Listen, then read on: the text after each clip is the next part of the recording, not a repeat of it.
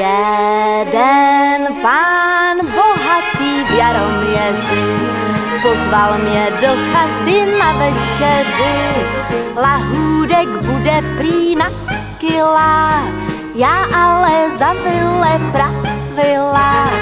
Nedělejte ze mě chudinku, netoužím po vašem pudinku.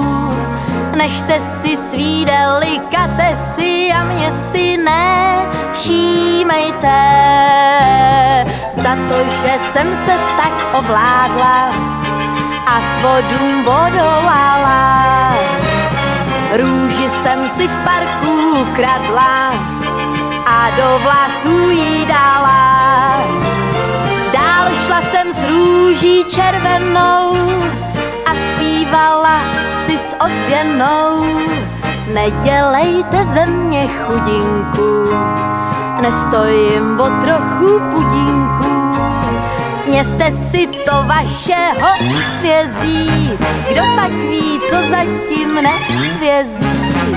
Za každou desátou brusinku chtěl byste ode mě pusinku. Za každý špek chtěl byste vděk,